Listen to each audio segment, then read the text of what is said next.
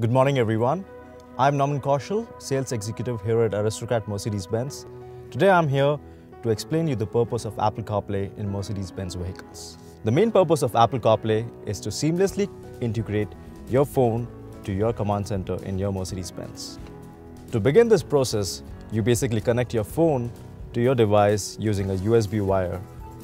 Once the message pops on your command center, for the first time, make sure to use the automatic function so that when you connect your device in future, the primary iPhone is easily detected by the computer.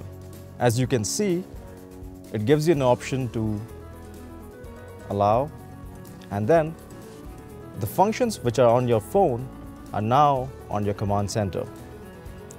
Next thing, you can just put your phone in the center console. Once the screen is in the command center, you can navigate to access maps, you can access your music, you can also access your phone dictionary. You can also use your Siri functions straight from your voice command.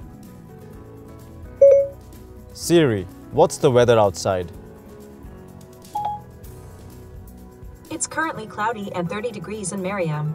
Temperatures are heading down from 30 degrees this afternoon to 19 tonight. My weather data is provided by the Weather Channel. At any given time, you can exit the Apple CarPlay by clicking this button over here. It takes you back to the normal command. Or if you want to go back, you can just go click on Apple CarPlay. It brings all your phone apps to the command center.